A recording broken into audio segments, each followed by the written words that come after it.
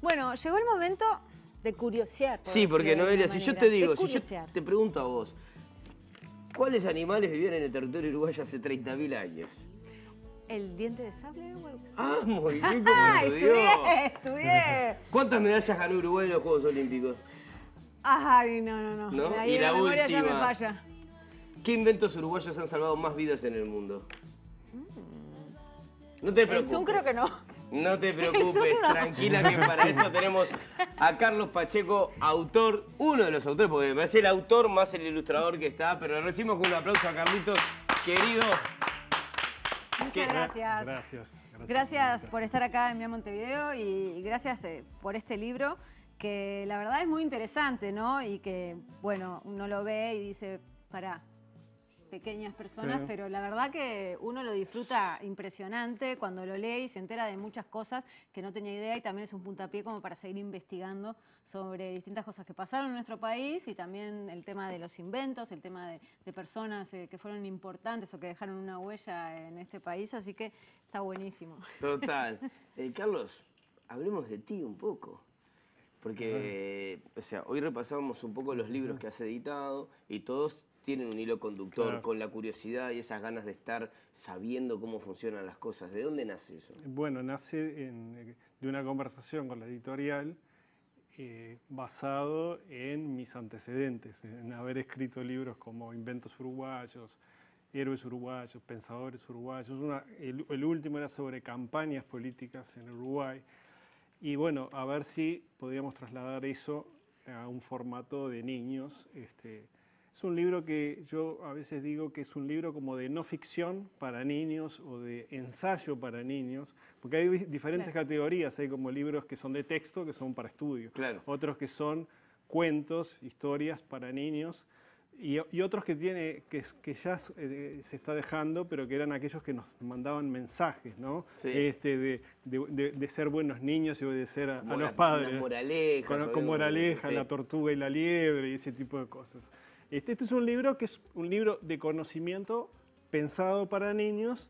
Está sucediendo algo de que también a los adultos los está enganchando. Totalmente. Este, es porque es como un repaso bastante rápido y de, de muchas cosas que importan. El criterio básicamente es lo, lo- lo- lo que es importante, que es curioso, pero además que es importante, eh, en varios aspectos de, la, de, la- de lo uruguayo. ¿no? Claro. Hoy, hoy contaba Pablito que, que, bueno, y está un poco en el libro, que mm, tu abuelo te contaba historias cuando paseaban por el parque, por el parque Rivera y eso. ¿Vos de- desde ahí te vino la curiosidad ya desde antes o fue más de, de adulto que?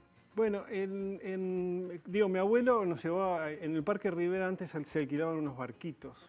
Y, este, y uno de los paseos que a veces nos llevaba mi abuelo, yo todo con mi hermana menor, era a, a- él remaba por el y, nos inventaba historias de que había un enano en un islote que estaba por ahí. Y bueno, todas esas cosas quedan. Mi, padre también, que no era, era, era un- una- en realidad un señor, no era muy atlético, nada, nos- me contaba eh, historias de... Él, él era un artista de circo, ¿no? Y contaba cosas, proezas de circo, ¿no? Este, y bueno, ahí yo cuento Ay, que lo esa... que debes haber sentido con la película El Gran Pez. Ah, claro, ahí va, es- es- tiene Es mucho que ver, tiene mucho que ver, ahí va. Y este, y bueno, con esas cosas, este, eh, esa es un poco la, la- la parte de mi infancia. Después, bueno, la- leer en mi época las revistas de Patorucito y todo ese tipo de, de cosas. Eh, y bueno, de, de- de eso, digamos, trato de conectar con aquel niño, que era lo que sentía, y buscar de, contárselo a los niños de hoy. Claro.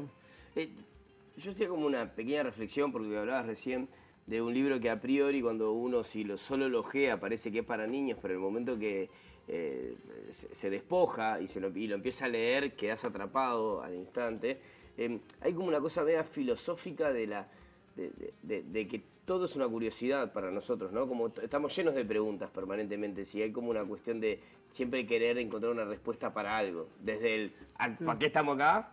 O sea, Sí. ¿de qué se trata todo esto? Alguien que tenga una respuesta. Y como que tiene, ¿crees que, puede, que, es- que es un imán para, para los lectores justamente este, el saber, ir aprendiendo, ir conociendo? Eh, un primer objetivo es que, me ha pasado con gente que me lo comenta, el problema de la lectura en los niños eh, frente al mundo del el video y la imagen. Después, eh, creo que es sobre todo preguntarse de, dónde salimos como país, sobre todo este, de dónde salimos, por qué estamos acá. Acá, muy resumidamente, hay como una serie de capítulos históricos al principio, eh, pero no empezamos la historia en el descubrimiento de América o la llegada de Solís a, las costas del Río de la Plata, sino, por ejemplo, arrancarla 30.000 años antes, ¿no? Y, este, y después 10.000 años antes, cuando los primeros humanos, digamos, este, empezaron a llegar al territorio. O sea, es un territorio en el que pasaron muchas cosas. Un día hubo una sequía, un arroyo, el arroyo vizcaíno se secó, y encontraron en el lecho del, arroyo un montón de huesos, pensaron que eran de vacunos, resultó que era un gran tesoro este, de paleontología ahí, donde empezaron a ver que había mastodontes, que había tigre, diente de sable, y, este, gliptodontes, una serie, incluso que podría haber habido actividad humana, este, que podría incluso cambiar fechas en la, en la en, lo que es la historia de la llegada de los humanos a, América del Sur, porque no se encuentran restos este, humanos, pero sí se encuentra actividad humana sobre esos, sobre esos huesos, algunas como herramientas sobre los huesos. Entonces, eh, eso pasó en el territorio uruguayo. Después pasa algo del hombre, del, se llama del hombre del catalán, que es los primeros, después vienen las, ya las tribus, etc. Y después viene la, la, digamos, la, conquista, el descubrimiento, y ahí se enteran de que existía todo eso. Entonces, contar un poco eso, muy rapidito y bien resumido, para después sí, eh, cuando viene la conquista empieza a ocurrir una serie de cosas en Uruguay que, que todos las conocemos, bueno, ahí resumimos, tampoco nos detenemos demasiado, resumimos, y después, bueno, ¿qué pasó ya más recientemente? Claro. Me, quedé, perdón, me quedé enganchado para no perderme de lo primero con lo que contestabas, que es, eh, bueno, con, esta generación más de la imagen y todo, eh, ¿qué, tuvieron que tener en cuenta en el momento de desarrollar de repente el diseño o cómo entregar la información para los niños como para captar la atención que es tan efímera hoy, hoy en día? Hay, hay una serie de criterios. Uno es cuasi periodístico, es usar diferentes piezas de diferentes hay números, hay sabías qué, contextos. Este. Lo otro es la ilustración. Hay un, trabajo formidable de, Eduardo este, eh, apoyando todo lo que se está diciendo, de manera que la, experiencia sea eh, no solo de texto, de lectura, sino también visual, y también que, que enganches a los más chiquitos, que a veces de pronto ni siquiera saben leer, pero pueden compartirlo con un abuelo, con un padre, con un hermano mayor que le cuenta cosas del libro, eh, y píldoras, ¿no? cosas pequeñas que le puede ir diciendo, mostrándole una imagen y diciéndole esto es por tal cosa y esto es por tal otra. Este, esas son algunas de las cosas pensadas como para eh, em, conectar con los, más, con los más jóvenes, con los más, los más chiquitos.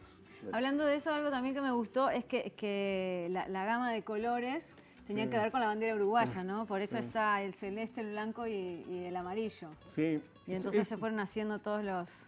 Es un trabajo, eso es una limitación que se puso el propio dibujante, este, lo cual eh, hace que el desafío sea mucho mayor. Porque dice, si no puedo usar tal, toda la gama de colores y solo voy a usar esta, tengo que explotar este, eh, los recursos mucho más. Eh, y, bueno, y también con esa conecta con la filosofía o, la, el estilo de la, publicación que estamos hablando de Uruguay y usar que aparezcan de fondo siempre los colores de, del uruguayo. Entonces hay dos salvedades, el negro sí. Ah, eh, para las letras y los fondos rojos. Los fondos rojos. Y los que se generan eh, como el verde o son mezcla de, el azul, el blanco y el amarillo. Exacto. No, em, hoy más temprano hablabas de eh, que tiene que estar lo importante. Pero ¿cómo uno decide ah, o qué criterio hay para lo importante? Eso es toda mi responsabilidad, me hago cargo. Pero bueno, eh, por ejemplo... Para vos, ¿qué es lo importante que, pusiste acá? Porque calculo que, que, con toda tu trayectoria tenías como mucha información que se podría Se volcar. puede- eh, te puedo poner un par de ejemplos. Uno, Sí. eh, tengo inventos uruguayos. T- Tengo 40 o 50 en el libro de inventos uruguayos que escribí.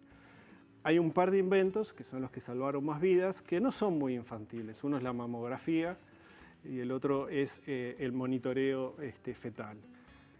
Y no son muy, pero hay que ponerlos, porque son los más, digo, después de hablar obviamente. 10, 12 años sobre inventos, cada vez que comento que la mamografía se inventó en Uruguay, se- la gente se le cae la Sí, sí. mandíbula, ¿no? Este, Ahora me hiciste acordar que lo había leído y realmente me, me impactó. Sí. Claro. Ahora, ahí después, ¿qué hacemos? Combinamos con cosas que puedan ser más cercanas a los niños. El fútbol de salón, el chivito, cosas que son más familiares, que incluso lo tienen en la escuela, lo tienen...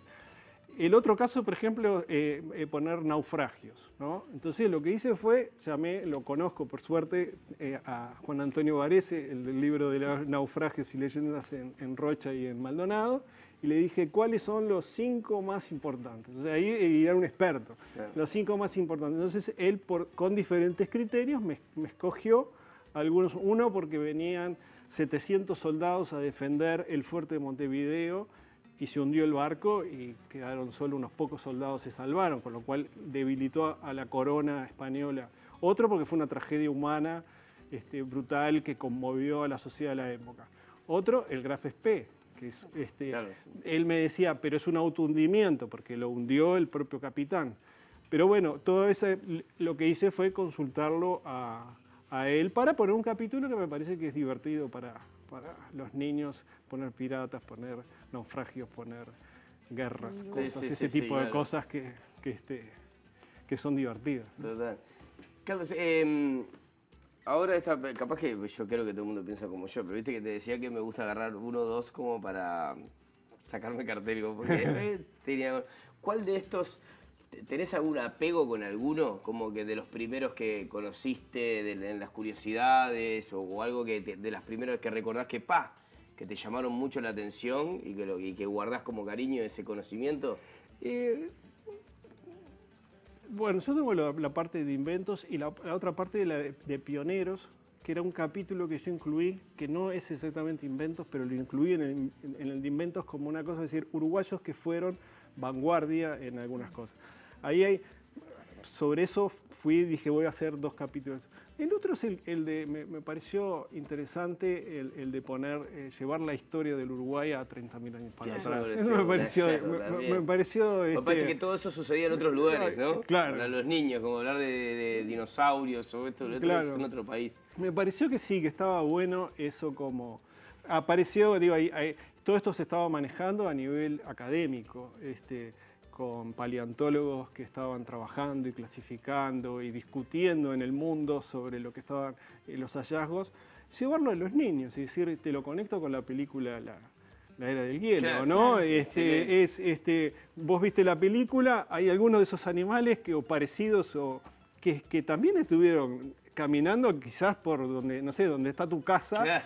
pero hace 30.000 años. Ah, ¿no? buenísimo. Qué bueno. ¿No? Querido, nada, un placer. Carlos, muchísimas gracias. Felicitaciones por Gracias el a libro. ustedes. Recordamos que, bueno, Papá Noel va a pasar por todas las librerías, así que es un hermoso regalo para dejar en el arbolito. Eh, Papá Noel, si nos estás escuchando. Eh, así que, y niños también se van a quedar copadas y copados con este libro. Un placer. Muchas gracias. Muchísimas muchas- gracias, ¿eh? un gusto. Vamos arriba, Carlos. Vamos arriba.